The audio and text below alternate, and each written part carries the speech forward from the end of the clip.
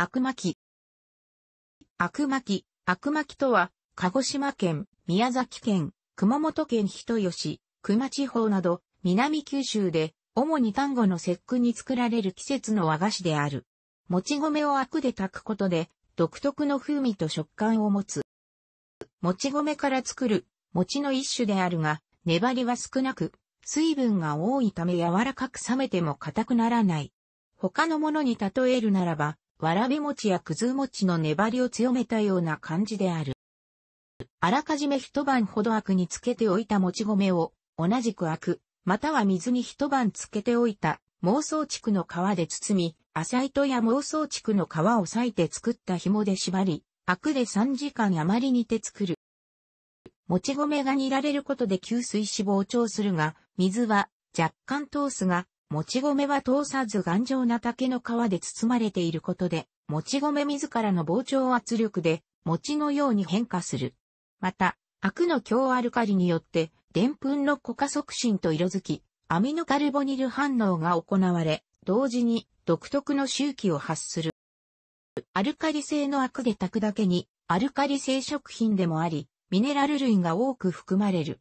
アクの原料にはカシなど後期の灰が上等とされるが、その他の木の灰でも作られる。工場での生産では、炭酸カリウムと炭酸ナトリウムの水溶液で代替できる。多くは、だいたい 500ml ペットボトル弱の大きさであるが、地域差もある。鹿児島県の奄美大島では以前は、妄想地区で包んだ本土と同じような津の巻が作られていたが、現在は、畜費ではなく、さらしの布袋を筒状に縫い、そこに悪につけたもち米を入れ、口を縫ってから煮る。このため、一般に、九州本土のものよりも少し小さい。また、袋から出した状態でラップなどに包んで販売される。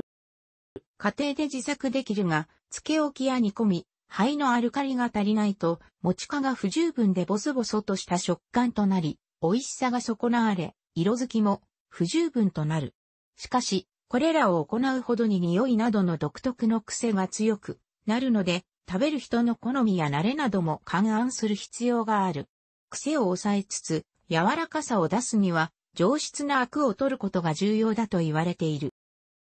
単体ではほぼ無味である。このため、砂糖と若干の塩を混ぜたきな粉、白砂糖や三温糖、黒砂糖の粉、黒蜜、砂糖醤油などを好みでかけるのが一般的な食べ方である。人によっては蜂蜜、たまり醤油、わさび醤油、ココアパウダーと砂糖などで食べる人もいる。そのままだと微妙にえぐみのような味があるが、多めの砂糖やきな粉などと一緒に食べるとそのえぐみも味の一環となり、独特のうまさとなる。もっちりつぶつぶしていながら、口に入れるとさらりと溶ける食感がある。その独特さゆえに、若干の好き嫌いや慣れを要する場合もある。常温で食べるのが一般的だが、冷やしても美味しい。冷やすとえぐみを弱く感じるため、苦手な人でも食べやすくなる。硬くなったら軽く温めると良い。切るときは包丁ではなく糸が使われる。表面積が大きな刃物では柔らかすぎて付着し、切りにくいためである。皮で包む際に縛った糸、竹の皮を細く裂いたものや、タコ糸を使う場合もあるがこの切り分け用にも使える。糸を若干湿らせておいて、ぐるりと悪巻きを一周巻いてから縛るように引くと、刃物で切るよりも綺麗に切ることができる。地元では、ち巻きとも称され、中国に起源がある単語の節句の行事食であることも共通する。しかし、西日本で一般的な青笹の葉で包まれ、もち米粉を用いたちまきとは違い、認めは台湾のちまきの一種で、三角錐型のちまき、剣草、キーツァンのような茶褐色の竹の皮で包まれている。アク、巻の中は、別光色のケーシング状で、米粒の多少残る餅である。また、西日本のちまきやちまきのように甘やんは、入れず、もち米のみである。アクを用いる同種のちまきは、新潟県や山形県などにも見られ、アクササマキと呼ばれている。鹿児島県でも、種ヶ島、屋久島ではアクにつけたもち米に小豆を入れて、断竹の葉で三角錐型に包む角巻きが作られている。もち米を色がつく程度に悪につけ、断竹の刃で小さめのおにぎりほどの大きさに巻いて、茹で煮るもしくは蒸したもの。もち米をそのまま断竹の刃で巻いて、悪で煮る方法もある。また、南薩摩市坊の津町にも角巻きに似た、東人館と人馬があるが、悪は使わず、台湾の肉ち巻き、肉ち巻き、バーツァンのように豚肉や椎茸などを使うことが多い。これらの食品が近隣にあることは、台湾や中国から伝わってきた製法であることを伺わせる。中国のちまきにちまきがある。色、形、大きさ、味、匂い、材料、製法とも悪巻きと類似する。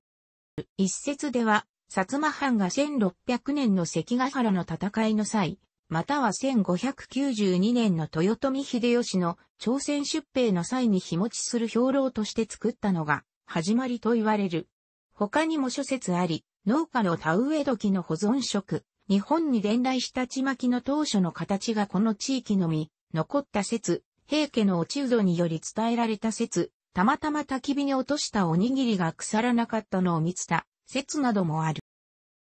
また、1877年の西南戦争の際には、西郷隆盛が保存食として持参しており、これを機に、薩摩藩外の宮崎県北部や熊本県にも広く普及することとなった。保存性で悪巻きを見ると、長時間煮ることによる滅菌、木の成分による抗菌、アルカリ環境による雑菌繁殖の抑制、竹の皮による抗菌と実に複合的かつ合理的にできている。